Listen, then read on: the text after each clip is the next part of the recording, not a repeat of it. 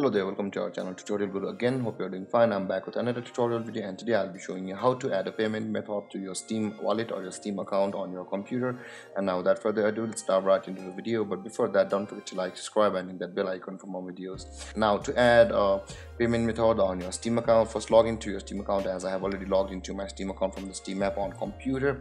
Now to add a fund you can see your username on the top right corner of your screen. Click on your username and after that you can see view my profile option of available over here and account details. Click on account details.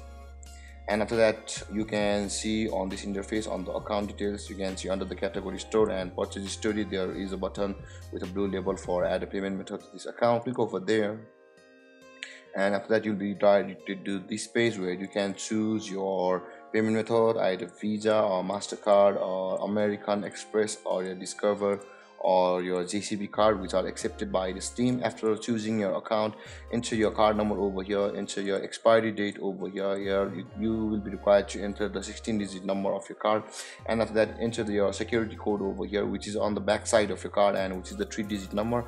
And after that enter your billing information such as your first name your last name your city your billing address one and your billing address line two your zip or your postal code and after that uh, choose your country and your phone number over here and click on continue. And after that your payment method will be added to your steam account from your computer. And there guys this is how you add your payment method on your steam account. And if you have any confusions or questions regarding the topic don't hesitate to comment in the comment section below.